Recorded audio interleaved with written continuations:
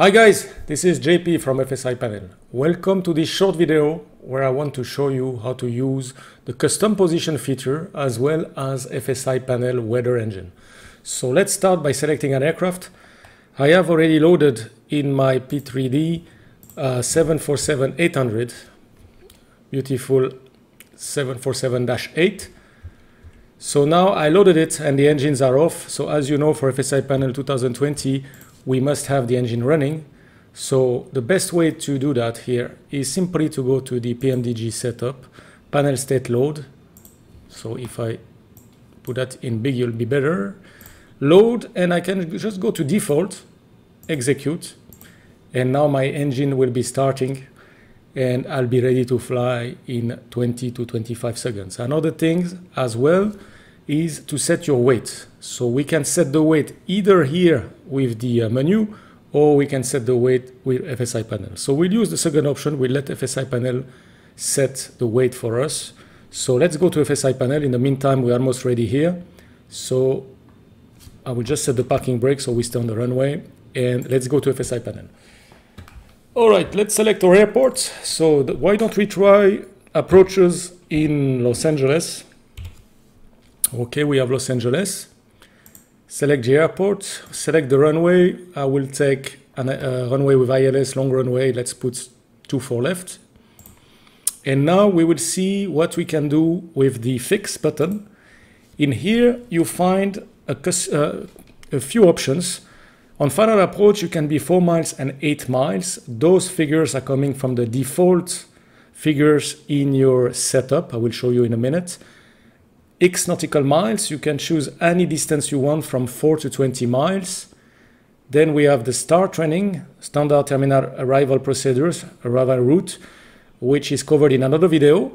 And then you have the airwork, if you want to fly high altitude for your training. And then you have finally the custom options for base, downwind, or vectors. All these figures, like I said, for short final, long final, as well as the uh, final distance on vectors, for example, you can set them in options. As you can see here, my short final quick approach distance is 4 miles and long distance is 8 miles. I can change all the figures here as I want and that will reflect into that page. So let's try now left-hand vectors as our first approach.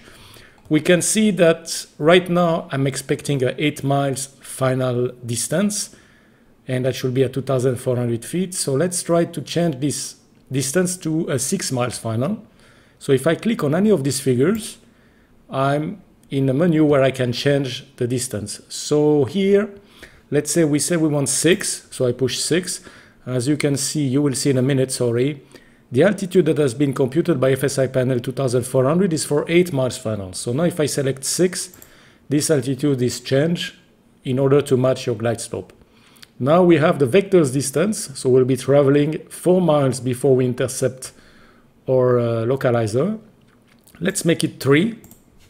And there, of course, it doesn't change your altitude because we are not, we are the same altitude at the same position when we intercept our glide slope. Okay, we validate those options. And now we will see the FSI panel weather engine. So if I press weather, I have the option on top here to select quick set. We use that often in a simulator to quickly change the weather visibility to practice go around or to let the crew go down to their minima without having to change uh, precisely the weather. So I can just select Cat 1 and you will see the runway at the Cat 1 minimum. If I put Cat 2, it will be a Cat 2.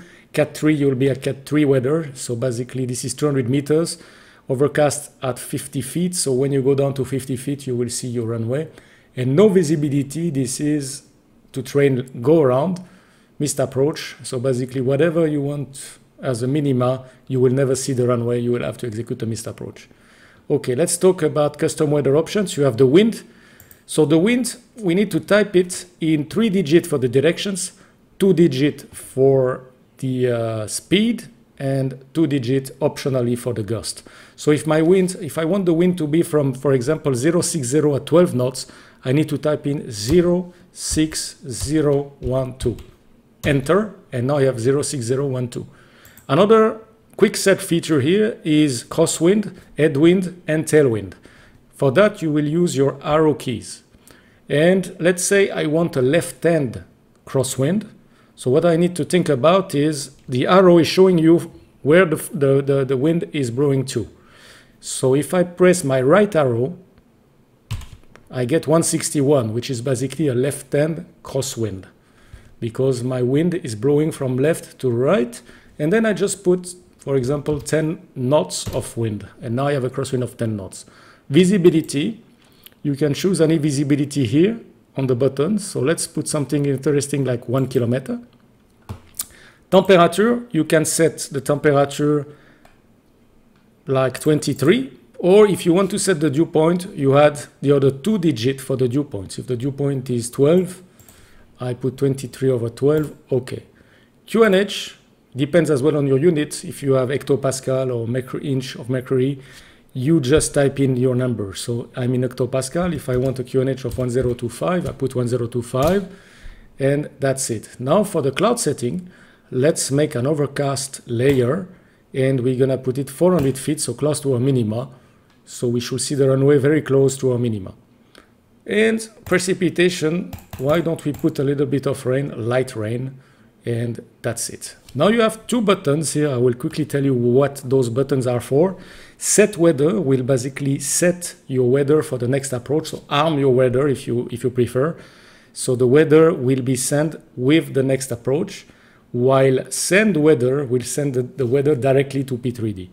So this method of set weather is the best way if you prepare your approach. And send weather, I will use it for example, if you are on downwind or if you are doing a star training or you're on final and you just want to modify a little bit your wind or change a little bit your visibility, then you send the weather and that will immediately change in P3D.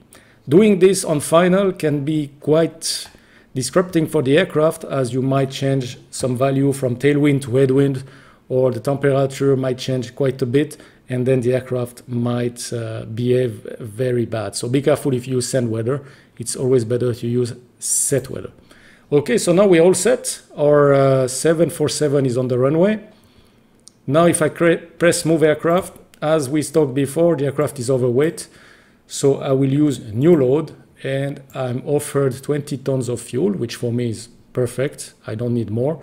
And the aircraft, we can select any zero fuel weight. So we'll make a zero fuel weight of 230 tons. So we'll be around 251 tons. When I click update load, FSI panel will start preparing for us. So let's go for it. Now when we go to P3D, now the weather will be set, the flaps will be moving to uh, 5 as we are on uh, vectors. And here, as always, do not touch anything. Let FSI panel do the work. See, we are in the air. Now we will see what's happening. Altitude should be 1800. We are reaching there. We can see now our FMC is programmed. Altitude captured. If we look at our QNH, we have 1025, which is what we want we should have our ILS set at the same time as the approach there. So we are not yet here. We see the bugs are set. So we just have to wait, as always, until you get on top the message of FSI panel telling you to take over control when you're ready.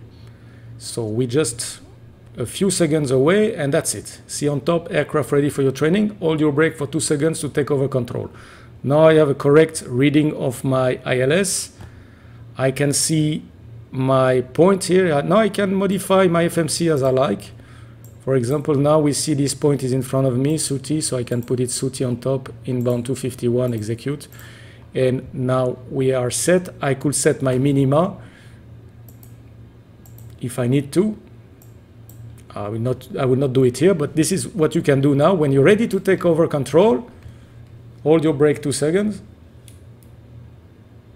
Here we go as you can see on top, you have control.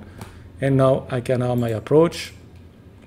And we are going to fly this approach. So uh, I will fly this approach and we meet each other just before our minima.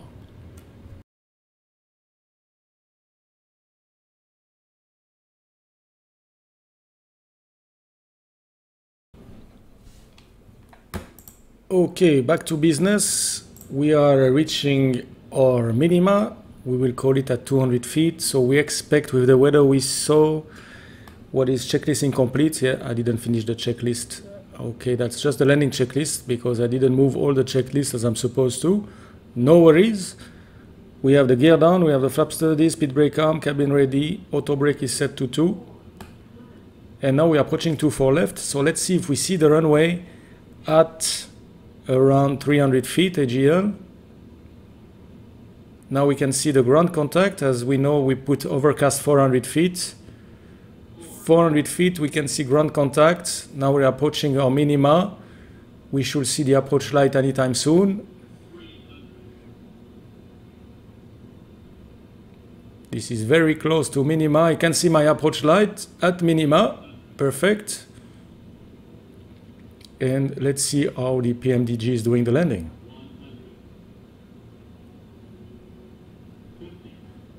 Flare, retard, idle. Perfect, beautiful. Use reverses.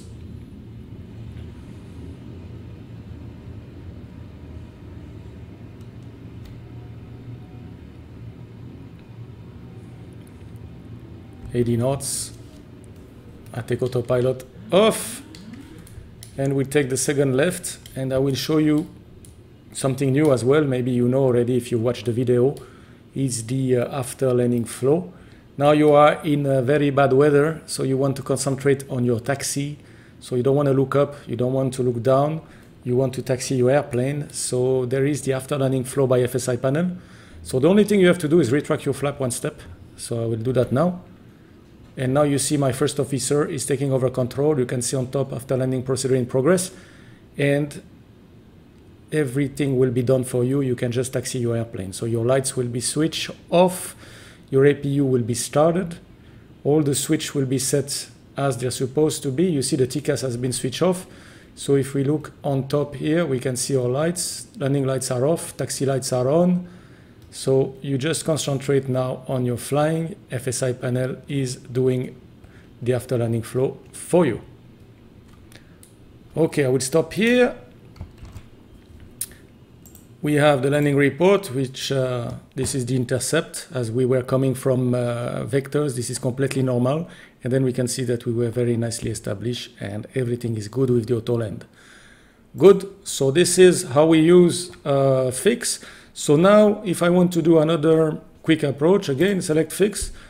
I can choose now a final of, let's say we want to be six miles final. I click here, six miles final, okay. Now this is the computed altitude, 1800, which is perfect for me to be on the glide slope. So I accept it.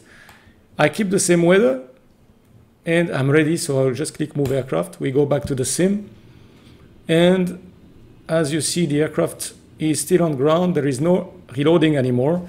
It will take a couple of seconds that the flaps are going to 30 and then we'll be sent back to six miles final. Let's see that happening. Here we are. Speed, heading sel, vertical speed. We can see our uh, altitude 1800. We see the runway in front of us. So as always, do not do anything. Just leave it to FSI panel. And once you're ready, you can take over control and fly. Okay, guys, I hope you enjoyed that video. I wish you, as always, very safe landing and see you soon. Any questions, please drop them below and I will answer them. Thank you. Bye-bye.